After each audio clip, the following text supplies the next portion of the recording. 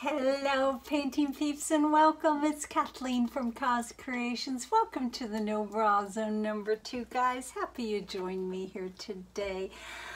I've been painting for the past four days since I got back from Texas with thick paints because I'm trying to teach myself all about them and eventually kick it up a notch and add my own twist to a few things. And today I came down here to paint with my thin paints again. I'm gonna do kind of a cloud pour, kind of pearl pour kind of thing. And um, you need some really, really thin paints to do that. So um, our base coat today is in this cup right here and please pay attention to the consistency guys. When that paint rolls off that popsicle stick into the paint below, it immediately dissipates. That's some thin paint. Now our pouring medium today is one part paint, one part Liquitex pouring medium, a half a part of GAC 800 and a squirt of Floetrol and then water. And I am so sorry I can't tell you how much water. It all depends on the consistency of your paint. This copper is a golden fluid paint. It took absolutely no water. This gold took very little water. It's a combination of uh, Modern Masters Gold and um, Pebeo or Pebeo. Messy voice said I said it wrong. Pebeo Pebeo gold paints. That took a little bit uh, more water than the fluid paints and um, the Arteza tube paints took a lot more water. So you just need to find your jam guys with um, your water amounts. Every paint is different. I wish I could tell you how much water went in each one of these cups, but let's talk about our cups. In this cup right here, we have yummy, delicious Treasure Gold Aquamarine. Bought with my 50% off coupon, don't you know, at Michael's. This right here took a little bit more water. That is Arteza Pearl Sage Green. The Arteza paints take more water than most of the other two paints, guys. At least that's what I have found. Yummy, delicious right there. Arteza Pearl Cactus Green.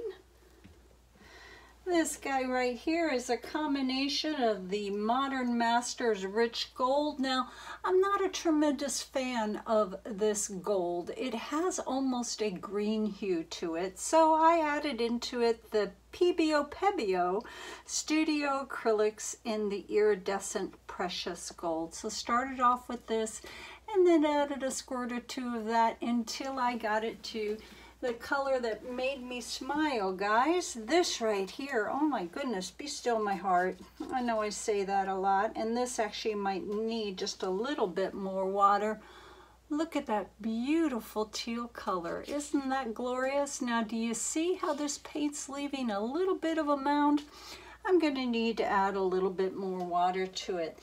This is a combination of PBO Pebeo Studio Acrylics, and that is their Blue Vert Iridescent, and I added to it the Artist Loft Phthalo Green.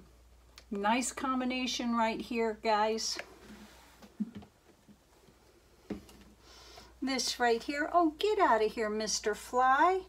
I thought I took care of you. Do you see him flying around there? This right here, best copper on this earth as far as I'm concerned. That's golden fluid acrylics in the iridescent copper. Absolutely no water was needed in this, so one part paint, one part Liquitex pouring medium, a half a part of GAC 800, and a squirt of Floetrol, and we were good to go. This is yummy, guys. Absolutely heartwarming, delicious right there. That is Golden Fluids, the Q word. Oh, I almost tried to say it. The Q word, Nickel Azo Gold. And I richened it up a little bit because it had too much of an orange hue for me um, to go along with these colors. So I richened it up with the Golden Fluids burnt sienna. It is so much fun, guys, playing with these paints, coming up with new and beautiful colors that just kind of kind of take my breath away every once in a while. Base coat, we didn't talk about it. I showed it to you. It is Artist Loft Soft Body Acrylics with a couple of tablespoons of the Deco Art Satin Enamel. Mixed the same way with one part paint. Let's start over with that. One part Liquitex Soft Body in the white. Two tablespoons of the Deco Art Satin Enamel in the pure white. Then one part Liquitex pouring medium, a half a part Golden GAC 800, a squirt of Floetrol, and water until the paint dissipates immediately when it rolls off the popsicle stick into the paint below. Now, I have another cup here. This is just the Artist Loft Soft Body in White. There's no satin enamel in it. When I use this cup, it's going to be in areas where I prefer not to get any pearl cells. So we're just kind of playing, guys. We've got our pearl cell base coat with the Artist Loft and the Deco Art Satin Enamel and the Artist Loft No Pearl Cell um, base coat color with just the Artist Loft No Deco Art Satin Enamel.